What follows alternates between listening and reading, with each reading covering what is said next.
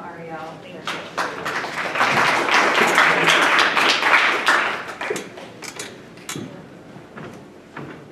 Hi, everyone. Thank you so much for your time today. Um, I'm here to talk to you about a portion of the dissertation work that...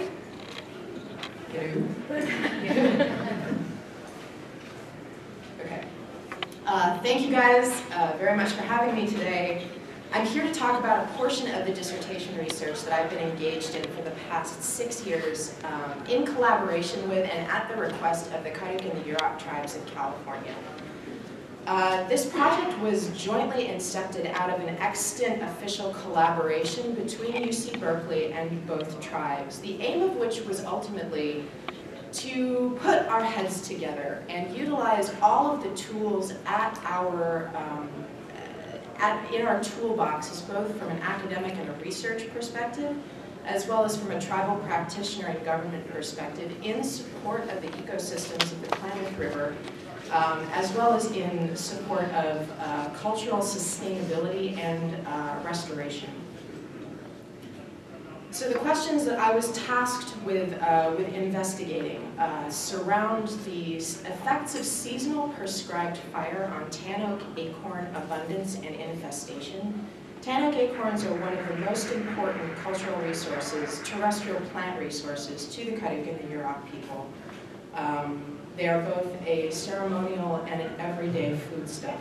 As well, I was tasked with investigating factors, both biological, abiotic, and sociological, surrounding the availability and abundance of tan oak acorns within tribal communities. Out of this was born then the question uh, as to whether or not we, uh, what can we do potentially to increase access uh, to cultural burning practices by tribal communities in support of cultural resources, given the current environmental and political conditions of our day and our state. A little bit on tan oak. Uh, Notholithocarpus densiflorus, recently classified from Lithocarpus. It is the only lonesome species in its genus. Uh, it's extremely closely related to other North American oaks. It's evergreen, wind pollinated. Uh, acorns mature in two years, which in reality means about 18 months, and will play very strongly into the presentation towards the end. It's a facultative seeder. Uh, acorns germinate and sprout quite vigorously. Tannins can also resprout post-disturbance from extant underground root systems. Uh, mature trees can certainly withstand low to mid-severity fire. Historically, uh, tan oak acorn groves or orchards were burned in the fall. Um, and this burn was targeted uh, to coincide with uh, the trough in the bimodal abscission pattern of tan oak acorns. Typically, a tree will shed acorns that are either infested or are maturing improperly earlier in the season while retaining acorns that are proceeding normally until later in the season. So there is a marked dip in acorn abscission, and culturally fire was targeted at that dip to reduce uh, larval populations that infest the acorns, as well as to facilitate collection. It's much easier to collect tan acorn, acorns on a charred black ground. Fire and tan oaks, as I said, are extremely interrelated. Um, this is a quote from a gentleman by the name of Klamath River Jack in a letter to the California Bureau of Fish and Game in 1916 during an era where fire suppression was extremely strong, trying to explain Native Californian perspective on why it was so important to maintain fire, at least within these tan uh, orchards. I haven't yet discovered a person or a way to say this better than this quote, so I offer it to you. A little bit on the lower and the mid-Klamath watershed. It's an exquisite location. I don't know if any of you have been there. If you haven't, please, if you get an opportunity, go. For those of you who have been, you know what I'm talking about. It is the ancestral territory of both the Karuk and the Yurok people, and they still do live in place, which is unique among Native American communities in this country. Uh, it's a biodiversity hotspot. It's one of the four most diverse conifer forests in the world, with a record 17 species of conifers being recorded within a square mile. Um, in addition to the sizable number of endemic and relic plant populations within the Klamath Mountains, uh, plant assemblages hail from a combination of species from the Coast Range, the Cascades, and the Sierra Nevadas, all which converge within the Klamath bioregion to create these magical, unique assemblages of plants who, uh, that hail from the different floras of those mountains. Um, it is an extremely pyrodiverse landscape. Uh, this is topographically controlled, it's controlled by the variety of habitats, it's also controlled by a very pronounced moisture gradient from west to east uh, between the coast and the Shasta Plateau.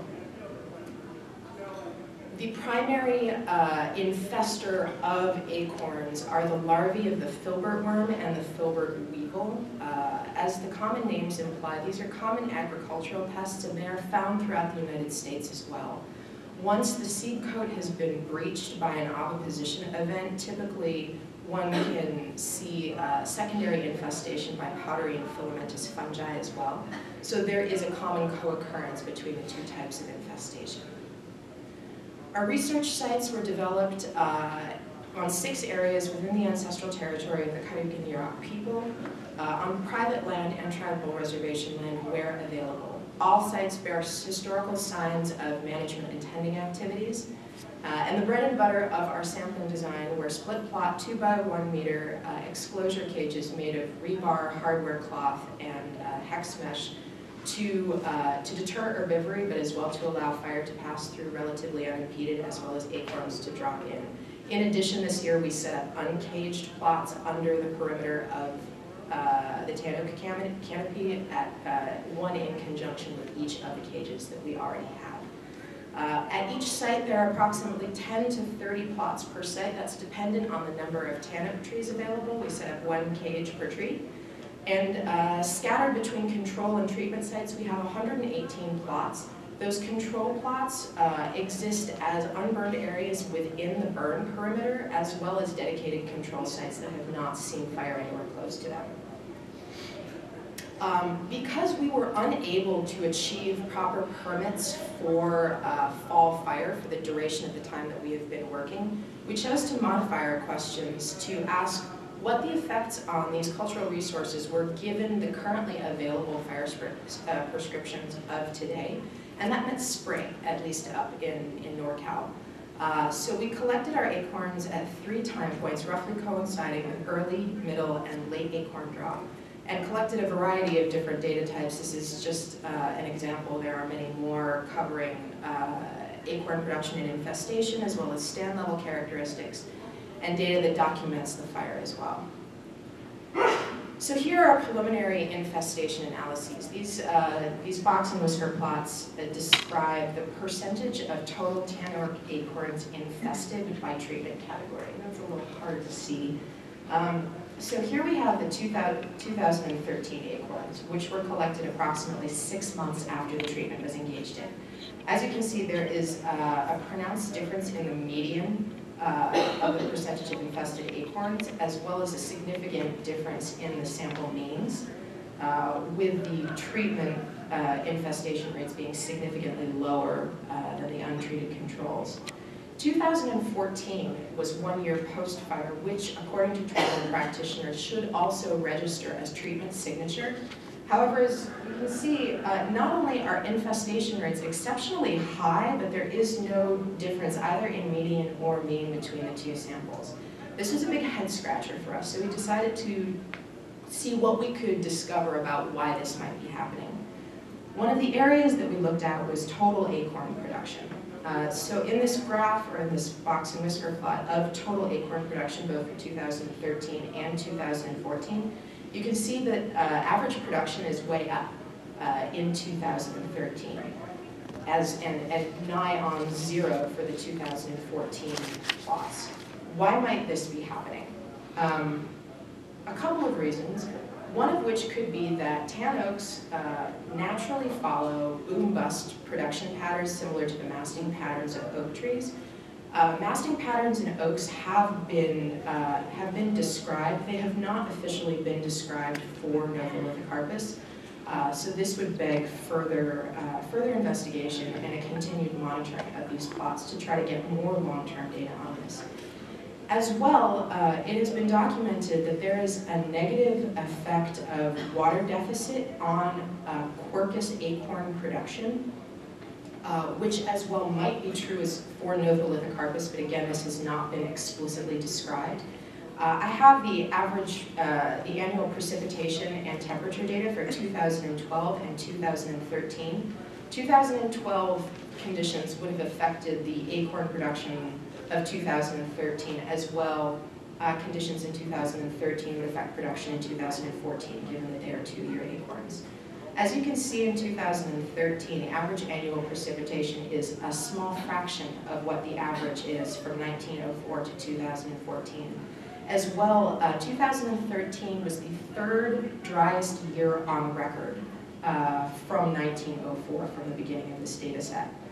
So how might this have affected infestation rates? Well, uh, predator populations or frugivore populations based on an increased resource availability would then be affecting uh, a very much depauperate uh, acorn population in 2014, which might explain why we get these elevated signatures of, of infestation that are so strong that they cancel out any of our treatment signatures.